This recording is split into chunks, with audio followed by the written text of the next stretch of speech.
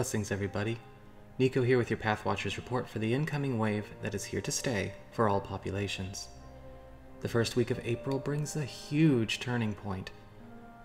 This new shift is personified in the Strength and Wheel of Fortune cards. Here comes the new addition to the March displacement waves augmentation.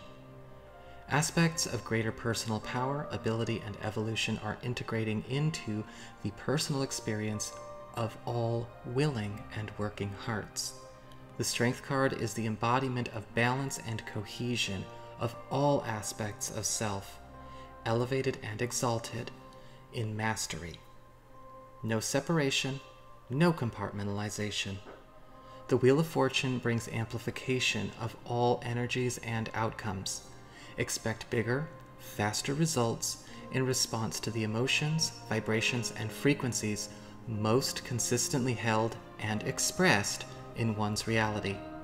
This is what was discussed in the April monthly preview, occurring now, right out the gate. There is also a focus on visibility and clarity of the true spiritual and energetic state of all occurrences and beings. What is held on the mental, emotional, and energetic level will manifest as the external presentation. The outer and inner are merged into one expression.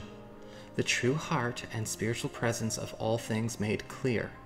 No veils. If there's any concern or worry arisen by this, please release it. All it takes is a shift, a pivot, to mend and alter one's course for the highest outcome. If you are interested in refining or catching up on any topics regarding creation and manifestation, please check out my Deep Topics playlist. It's on my main channel page. All content there is to help people of all experience levels. Personal revelation and dispensation of new talents and abilities, no matter the level of spiritual experience, is available for all willing to accept the work. It is really quite exciting.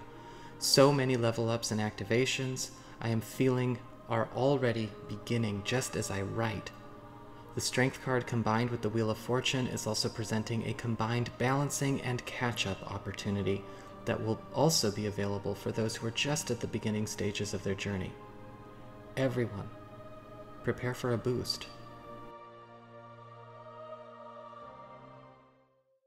Alright, Gemini, now that we've seen what the incoming wave is for this week, let's see how it actually lands for you. Quick reminder, however, for those of you who have been waiting for the Oversoul guided meditation on how to connect with soul family, soulmates, twin flame energies, and all of that good stuff, it's up on the main channel page, and you can actually open the, uh, you know, open up my uh, main channel page by clicking on the avatar beneath this video, or you can open the down bar below and follow the links there. But it's up, guys. So, you know, you were asking for it. It's here. It's been up. Go check it out. It's also under the Deep Topics playlist. Hopefully nobody's afraid to go there anymore. So, let's have a look and see what's going on when it comes to your cards.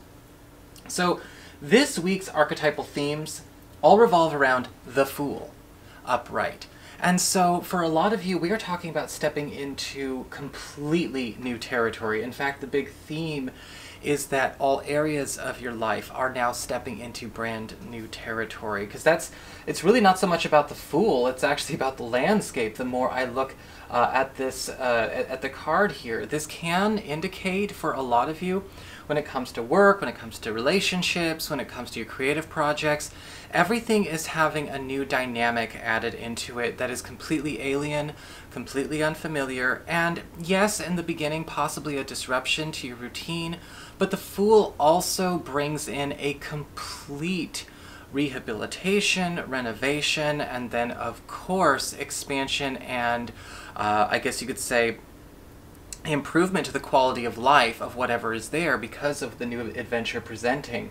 A lot of you may be finding that this huge alteration to the landscapes around you are ultimately going to be serving in the highest interest of all concerned because we're also seeing you connecting with new people. We are drawing in new connections and yet at the same time expanding territories that are already there travel opportunities are also going to be um, at least up for discussion, right? Let's use our imaginations, people, considering things that are going on right now. But I feel as though a lot of you are just having the the the dome or the boundaries of your world cracking open and just everything spreading out. It's actually a really, really cool visual that's coming to me. Now, the News and Arrivals card, well, we have the Ace of Cups in reverse, and so there may be something going on with a friend or a family member who has to share some difficult news or some difficult information with you, and it does feel like with the Ace of Cups reverse, they're kind of at wit's end. I feel like they're they don't know how to share this information with you, they don't know how to be honest, they don't know how to disclose what they need to, to disclose. But remember, with the Ace of Cups reversed, we are trying to get away from self-censorship. We are trying to keep things in a way where ultimately we are working on the best status of health for this connection and for this relationship. Now, the Ace of Cups reverse could indicate that somebody could be trying to resist a change in futility. Uh, maybe they think they're protecting you. Maybe they think they're protecting themselves at the connection but we are also seeing a, a certain amount of sadness or a certain amount of guilt. And I feel like it's almost unnecessary. I, I, feel like this person feels like they have failed you in a way that they have not failed you. They are feeling regret and sorrow, and they're afraid to share with you their truth. Maybe they're self-conscious about it. See what you can do to be encouraging. As we get to material resources, uh, we actually have the Ace of Swords upright. And there is a huge breakthrough coming in when it comes to work and when it comes to money, because the Ace of Swords is showing me that there is sort of a new direction, a new superhighway kind of getting paved for you as it relates to a financial, professional, or creative aspiration. And because it's material, this could also apply to household concerns as well. With the Ace of Swords, this is something that we can actually embark on fairly quickly, and this might be something that defies logic. I'm actually getting this weird sense with the Fool that it defies logic. Maybe it's not in the normal order of operations. Maybe it is not something that... Oh, this is Persephone, by the way. I don't think she normally shows up for Gemini videos. Um, it's not following the normal order of operations. It's not following the uh, normal proprietary uh, expect expectations or the normal uh, procedures that go on at work. So make sure that when things are getting put out there, you're not accidentally rejecting yourself because it's going off script.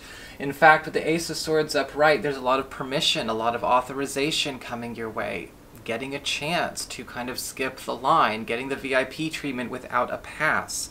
Let this happen to you as we get to the Seven of Swords reversed for love and relationships. There is another uh, bit of disclosure coming your way, something uh, coming out, a secret coming out.